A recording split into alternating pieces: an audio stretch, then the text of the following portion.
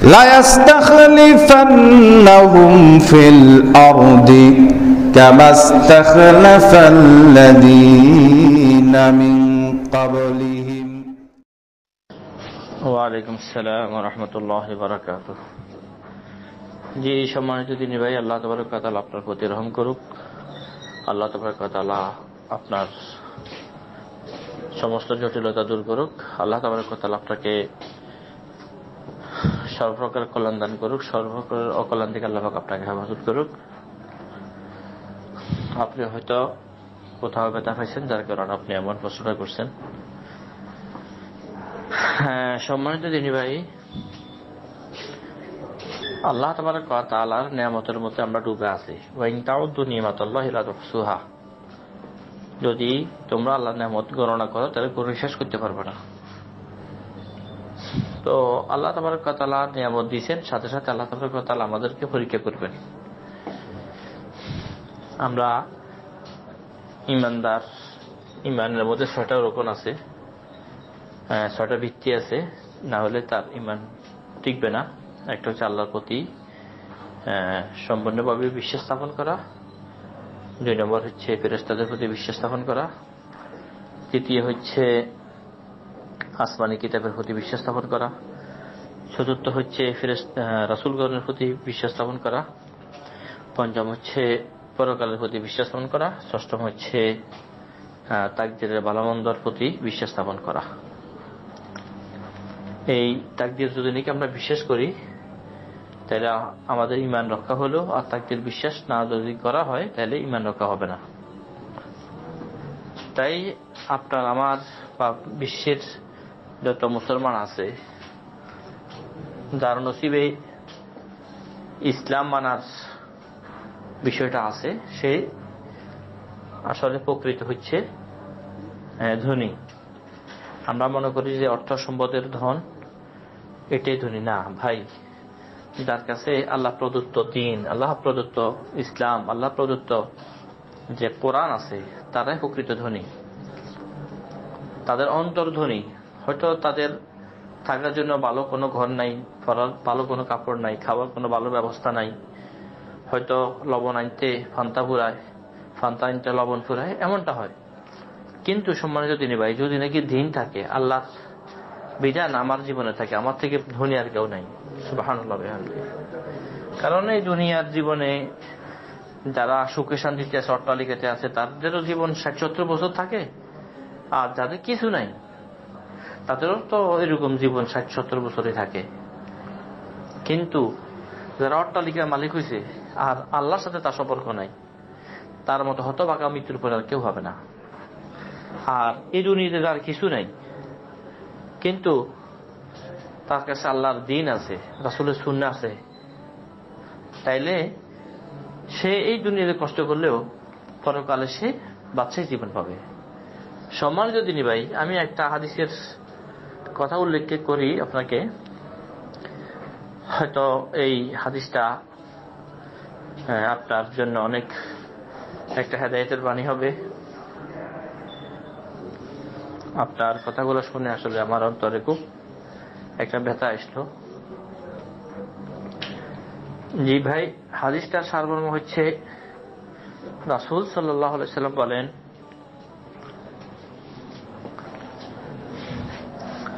কেয়ামতের দিন এক ধরনের মানুষকে উঠানো হবে যে এই দুনিয়াতে নেয়ামতে ভরা জিন্দগি যাপন করছে। থাকার জন্য অট্টালিকা ছিল পরার জন্য ভালো জামা কাপড় ছিল, খাওয়ার জন্য উন্নত মানের ব্যবস্থা ছিল। কিন্তু তার একটা জিনিস ছিল না। সেটা হচ্ছে আল্লাহর দিন তার কাছে ছিল না, রাসুলের আদর্শ তার কাছে ছিল না, আল্লাহর ফরজ দায়িত্বগুলো আদায় করা তার ছিল না। সে যখন মারা গেছে, তখন কেমতের দিন যখন তাকে উঠানো হবে, তাকে জাহান নামের একটু বাতাস তার শরীরের মধ্যে দেওয়া হবে। জাহান্নামের যে ভয়াবহ বিভীষিকাময়, বিতৃষ্ণাকর, অসহ্যকর একটা পরিস্থিতি বাতাস তার গায়ের মধ্যে লাগবে, সে নিমিষেই দুনিয়ার যে ষাট সত্তর বছর দিকে নিয়ামতের মধ্যে কাটাইছে, সে নিমিষে ভুলে যাবে। এর ফলে তাকে বলা হবে, হাল রাইতা খাইরান করতু হাল রাইতা নাইমান করতু তুমি কি তোমার জীবনে সুখ, শান্তি সুখে দেখছ? তুমি কি তোমার জীবনে আনন্দ সুখে দেখছ? সেও তো দিবে, মা আইতু নাইমান করতো মা আইতু খাইরান করতো আমি জীবনে সুখ, শান্তি, আনন্দ কিছুই দেখি নাই। দেখেন, সম্মানিত দিনে ভাই, এ দুনিয়াতে তো তা সব কিছুই ছিল। কিন্তু আল্লাহর দিন ছিল না। যার কারণে জাহান নামের একটু আবাহ জাহান নামের একটু শাস্তির কিছু একটা অংশ তার শরীরের মধ্যে লাগার কারণে দুনিয়ার নিয়ামতের কথা, দুনিয়ার অট্টালিকার কথা সে নিমিশে ভুলে গেছে। পক্ষান্তরে এক ব্যক্তি যে এই দুনিয়াতে থাকার কোনো ঘর ছিল না, ফরার কোনো পোশাক ছিল না, খাওয়ার কোনো তেমন ব্যবস্থা ছিল না কিন্তু তার কাছে আল্লাহর দিন ছিল। আল্লাহর সন্তুষ্টি সে অর্জন করছে, রাসুলের আদর্শ ছিল। তার ইমান আমল ঠিক ছিল। ওই ব্যক্তিকে তখন কেমতের দিন উঠানো হবে আর জান্নাতের নিয়ামতের বাতাস তার শরীরের মধ্যে লাগানো হবে। সে নিমিশে দুনিয়ার ষাট সত্তর বছর কষ্টের কথা বলে যাবে। আর তাকে প্রশ্ন করা হবে, হে আল্লাহ বন্দা হাল রাইতা বুসান করতু তুমি কি তোমার জীবনে দুঃখ কষ্ট যে চোখে দেখছ? সেগুল মা রাইতে বুসান করতু আমি তো অশান্তি কি? সেটা চোখেই দেখিনি। ফেরেশানিকে আমি চোখেই দেখিনি। সম্মানিত দিনী ভাই, এটা কেন? ষাট সত্তর বছর দিকে তো সে অনেক কষ্টের মধ্যে ছিল কিন্তু সে নিমিষের জান্নাতের যে মনোরম পরিবেশের আবার তার শরীরের মধ্যে যখন শোভা লাগল, সে দুনিয়ার ফেরেশানির কথা ভুলে গেল। এই হাদিস ডাবু দাউদের মধ্যে আছে সহিসূত্রে বর্ণিত। এই হাদিস থেকে আমরা কি শিক্ষা নিতে পারি? সম্মানিত তিনি ভাই, ওই শান্তি শান্তি না, যে শান্তির পরে অশান্তির ব্যবস্থা হয়। আর ওই অশান্তি অশান্তি না, যে অশান্তির কারণে, যে অশান্তির পরে তার চিরস্থায়ী শান্তির ব্যবস্থা হয়। আল্লাহ তোমার কথা আল্লাহ তো সেটাই চান যে এই দুনিয়াতে কোন রকম বন্ধা আমল নিয়ে চলে যাবে আর আখেরাতের মধ্যে সে বাদশাহ জিন্দিগি যাপন করবে। ভাই, আপনার যে বিষয়গুলো আল্লাহ তোমার কথা ইনসাফ অবশ্যই করেন। আল্লাহ তাবার কথা কর্ণমুদ্র বলেন ওমা রব্বু কবি জল্লাম আবিদ। আল্লাহ তালা বন্ধার প্রতি সামান্যতম জুলুম করেন না। তাই দুনিয়ার জীবনে আমরা তাকদিরকে বিশ্বাস করি, আল্লাহ আমার জন্য যেটা ভালো মনে করছেন রাখছেন সেটাতে আমি খুশি। আপনি কষ্ট করেন, আপনি মানুষদেরকে শ্রম দেন, হয়তো মানুষে আপনার উপর অসন্তুষ্ট হয়, অপমানজনক কথা বলে, তারা এর জন্য আপনার কোনো ক্ষতি নাই। আপনি যদি নাকি আসলে বাস্তবতা মানুষের হক আদায় করেন, সুন্দরভাবে যে তাদের দায়িত্ব আদায় করার চেষ্টা করেন এর ফলে যদি নাকি অসদাচরণ করে, আপনার কোনো ক্ষতি নেই। ওই সমস্ত জালিম, কুখ্যাত লোক যারা আছে, তারা আল্লাহ তাবার দরবারে অবশ্যই জবাবদি করতে হবে।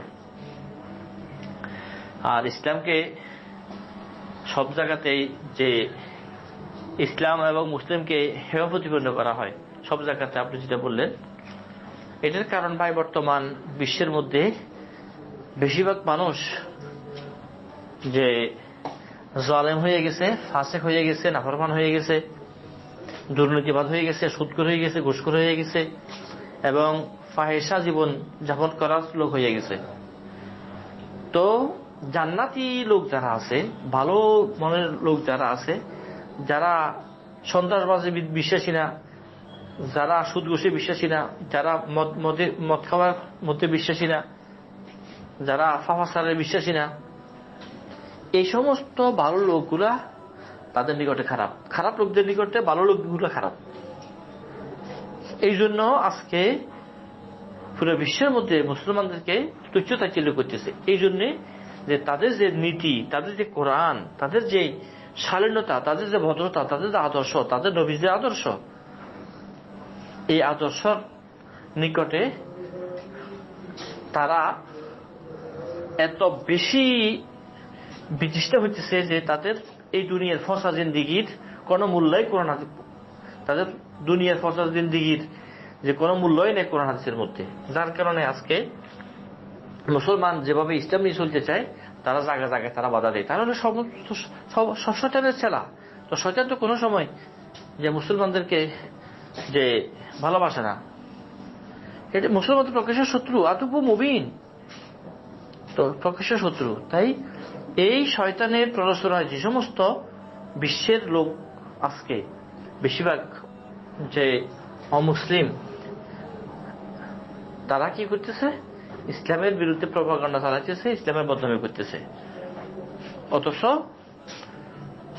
ইসলাম এর সৌন্দর্য দেখে অমুসলিমদের মধ্যে বর্তমানে খ্রিস্টান, ইহুদি, হিন্দু, বিশেষ করে ডাক্তার জাকার নায়কের লেকচার শুনে ইসলামের সৌন্দর্য বুঝতে পেরে তারা ইসলাম গ্রহণ করতেছে। আলহামদুলিল্লাহ। কিন্তু যারা কুখ্যাত মনের অধিকারী, যারা সব সময়ের মধ্যে যে দুনিয়াকেই প্রাধান্য দিয়ে থাকে আখড়াতে কোন তাদের বিশ্বাস নাই, তারাই অপকর্ম মধ্যে লিপ্ত আছে এবং মুসলমানদেরকে তারা কোনটা বা মুসলমানদেরকে বিভিন্ন ধরনের যে জুলুম নির্যাতনের মধ্যে তারা রাখতেছে। তো সর্বশেষ কথা হচ্ছে আল্লাহ তালা তালা এই সমস্ত জালিম, ফাসিক, কাফের যেগুলো আছে, এগুলোকে আল্লাহ হেদায়ত দান করুক। আমরা তাদের হেদায়তে করতেছি আর আমরা যারা মুসলিম আছি, আমরা আল্লাহ তালার দরবারে যে এই কথা ভিক্ষা চাই যেন আল্লাহ তালা আমাদের জন্য, আমাদের উপর অসন্তুষ্ট না হন। আমাদের কর্মের কোনো কর্মের কারণে আমরা ইমান হারা না হই। আল্লাহ তাবার কথা যেন আমাদেরকে এই দুনিয়া থেকে যাওয়ার শেষ মুহূর্ত পর্যন্ত আমাদেরকে ইমান নিয়া ইমানের সাথে নিয়া তাহিদের সাথে নিয়ে রাসুল আদর্শ নিয়া যাওয়ার তহবিক দান করে। এটা হচ্ছে আমাদের সবচেয়ে সম্বল। এটা হচ্ছে চিরস্থায়ী আমাদের জাতের একটা যে মাধ্যম। এছাড়া আর কোনো মাধ্যম নাই। এছাড়া অন্য কোনো রাস্তা নাই। আমার জাতের কোনো উপায় নেই। তাহিদ ইমান রাসুলের আদর্শ, কোরআন সুন্না আল্লাহ দিন ছাড়া আর কোনো ব্যবস্থা নাই।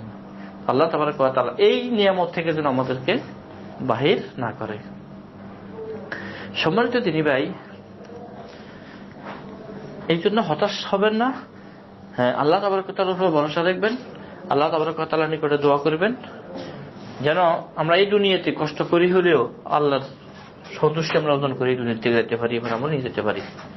আশা করি বিষয়টা বুঝতে পারছেন। বাকি আল্লাহ রহমুল সালাম আসসালামু আলাইকুম রহমতুল্লাহ বারকাত